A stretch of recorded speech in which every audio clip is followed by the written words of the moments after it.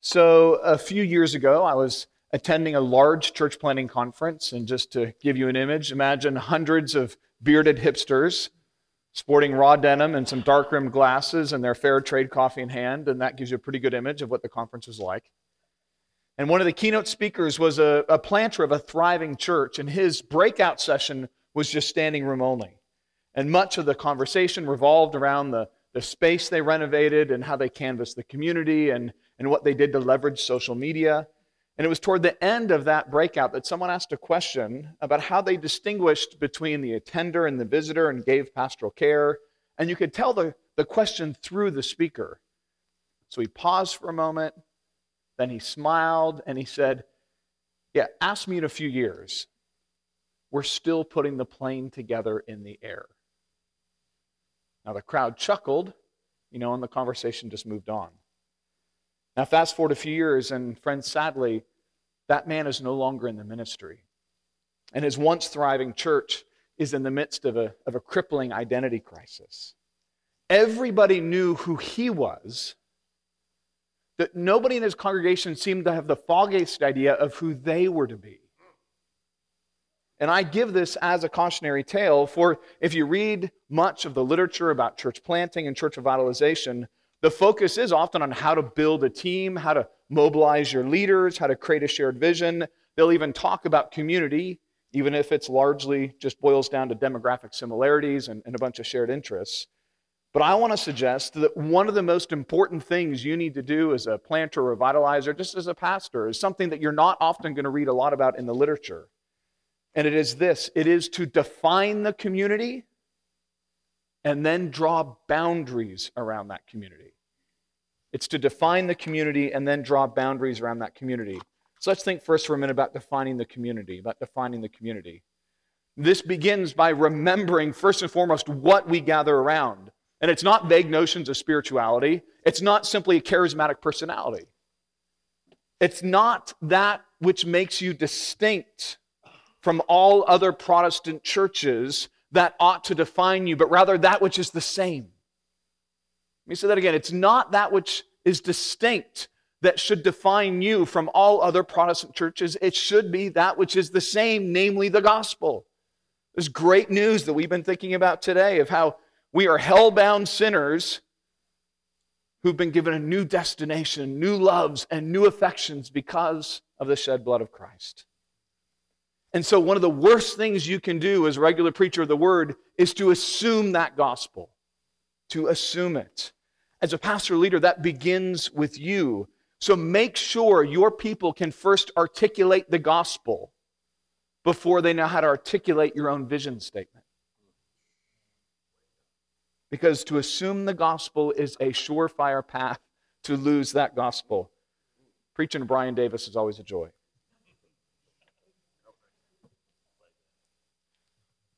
In every sermon, preach it, right? God, man, Christ response. And if you live in a place where nominal Christianity is common, where I serve, add cost to it. Add the cost of following Christ. Make it clear that Christ alone is the reason why you gather and not simply a social cause, again, not a charismatic leader.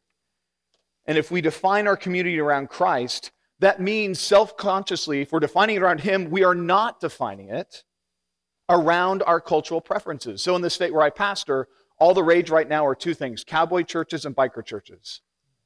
Some of you are wondering, how is that possible? Right? I can bring you down to my state, I can tell you about it. In your own state, it could be churches for artists, it could be the church for the cultural warriors, the church for homeschoolers, whatever it might be.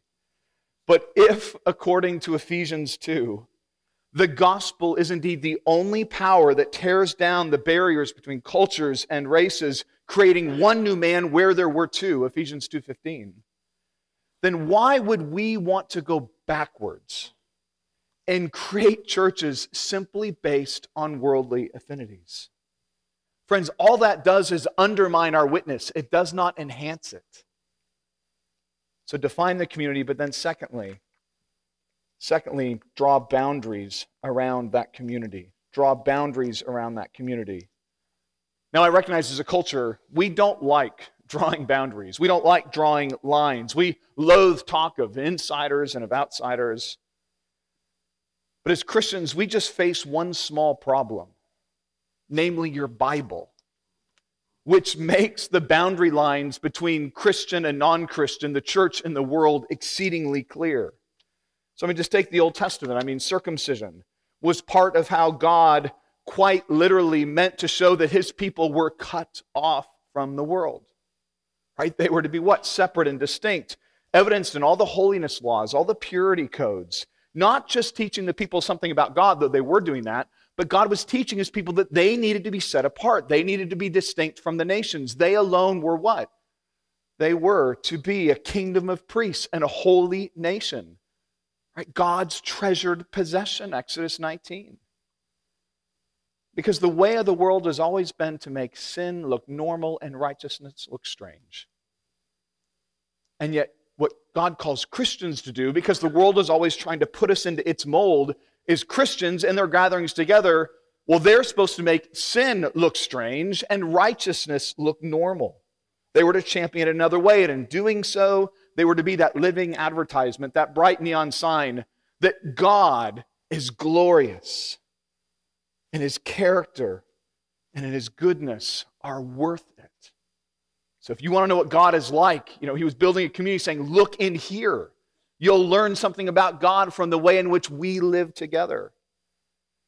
So, my point is this when it comes to insiders and outsiders, so often we want to blur those lines between the believer and the unbeliever.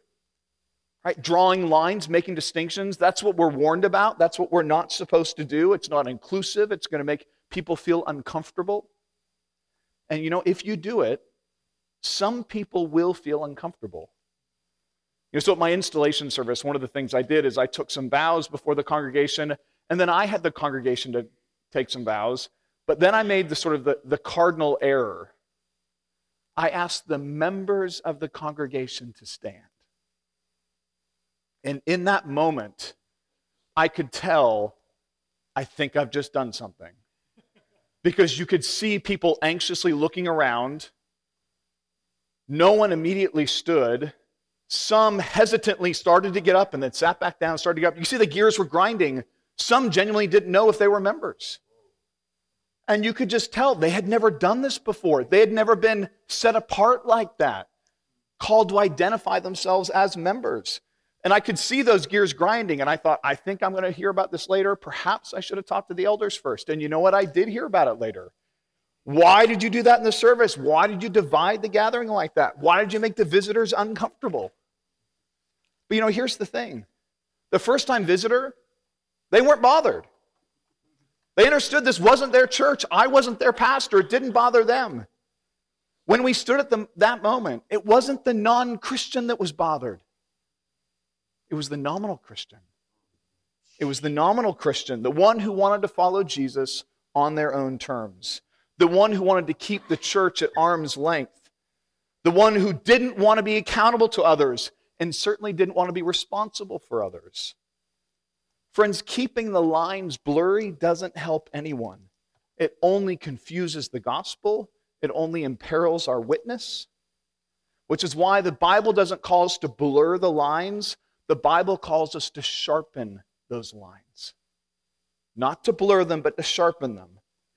How do we do that? I'll keep it simple. One suggestion establish meaningful membership in your church. You are wondering, how am I going to go to a 9Marks conference and someone isn't going to talk about membership? Well, here you go. Establish meaningful membership in your church. Now, for the longest time, personally, I thumbed my nose at the idea of church membership. You could just ask Mark Dever at that back door. We had a nice little chat after he led the Lord's Supper fenced the table as he did. And I realized I'm not a member of a church. I can't take it. And I thought, how obnoxious of it was Mark to tell me, a Christian, I couldn't take the Lord's Supper. But that's because for me, I understood sort of membership as someone who grew up in sort of Northern California on the coast. Membership was like some East Coast love affair with institutions. It sounded like a country club, like snooty, where you had to wear proper attire and and watch your behavior and pay your dues. It felt elitist, and I had no concept of how membership could possibly help me follow Jesus or anyone else for that matter. And friend, you may think similarly, but I would just suggest to you that while membership is not so much directly argued in the Bible, it is everywhere assumed in the Bible. Right? We're sheep. Sheep are meant to be in folds, John 10. We're called branches. What are branches to be? Grafted into the vine, John 15, Romans 11. Bricks are part of a spiritual house, 1 Peter 2. Children who now call God as their father have been what? Adopted into his family, Galatians 6, Ephesians 2. Members of the body, hands, ears, eyes, feet, are meant to be connected to the body. Think a member of the body not connected to the body. It's not a pleasant image. We see it as well in the Christian's responsibility to submit to specific leaders. Hebrews 13, 17, obey and submit to your leaders, right? Not any leaders, a specific set. The assumption is Christians know who those leaders are, they submit to them. We see it in the relationship of Christians to one another in the world. So, Paul, 1 Corinthians 5, will refer to those who are inside the church, those who are outside the church. And Paul says, put the unrepentant man outside the church. And of course, if you can refer to those who are in and those who are out, that presumes clear boundary lines between the church and the world. You know, apart from the missionary situation in Acts uh, 8 with the Ethiopian eunuch, I'm just not aware of any clear New Testament examples where you have Christians who are not formally joined up into particular churches where they are known by others and held accountable to others. That's just not a category we regularly see. Which means, friends, you need to restore, or if you've never done this, implement meaningful membership into your church. You need to establish that clear boundary marker again. Now, the literature will say this is like internal stuff, this is housekeeping stuff, this is the kind of thing that's going to distract you from the real work of ministry. I've had people tell that to me. But, friends, I think you will struggle, if not absolutely fail, to have a clear and compelling witness for Christ five years from now if you ignore this. If you ignore it, I don't think this is just optional. I think this is absolutely essential to your work in the ministry.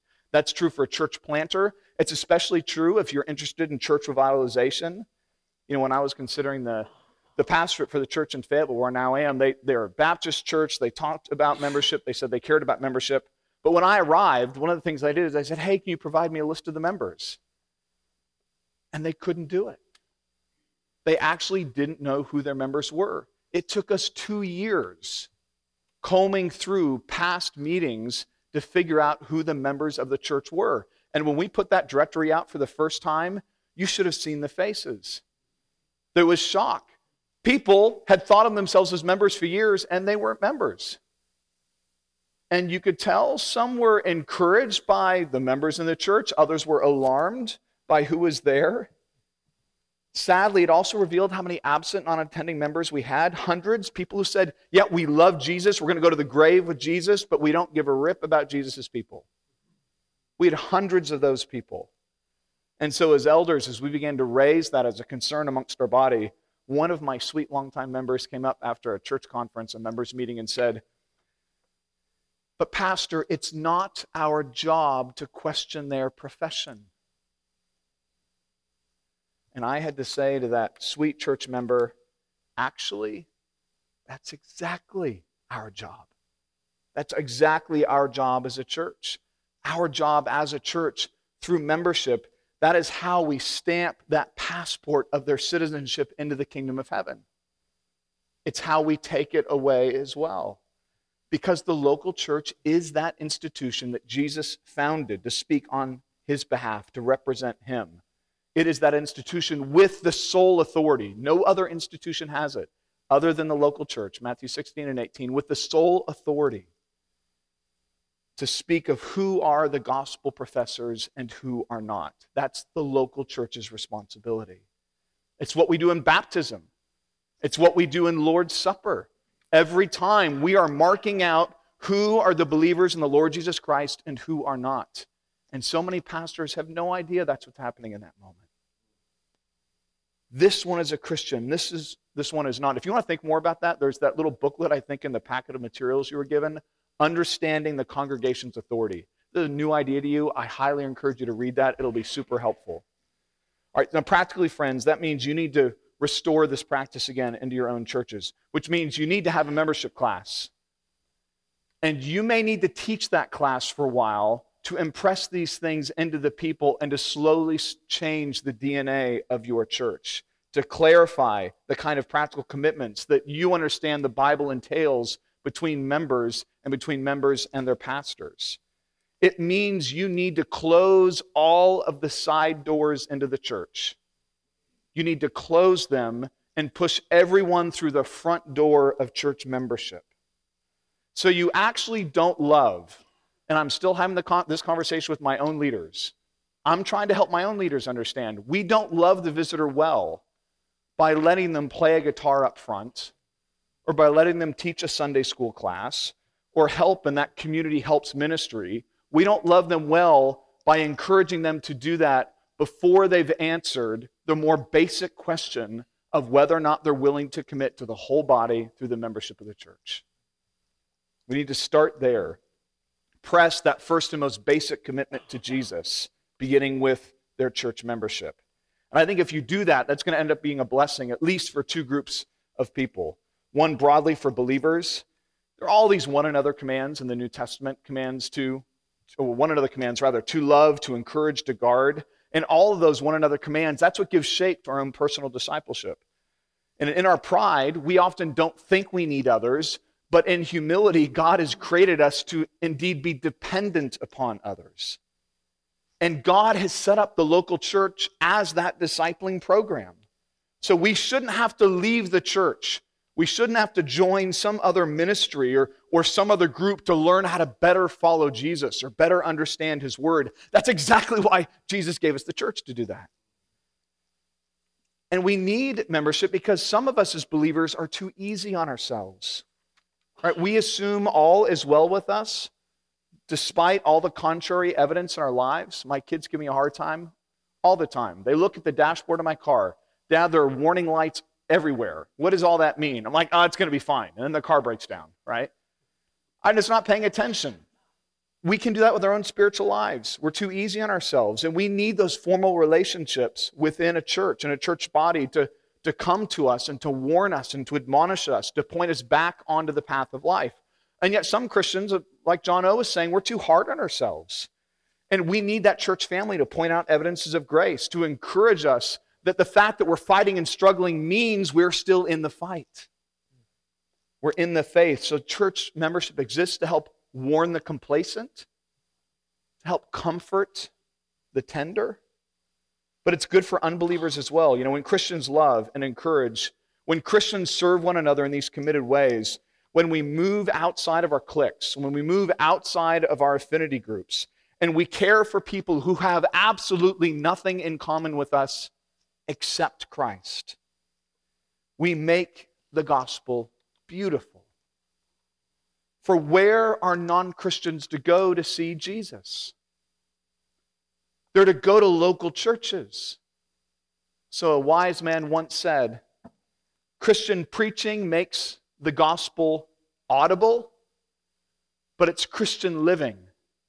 And these kinds of committed relationships that membership entails, it's that kind of Christian living that makes the gospel visible.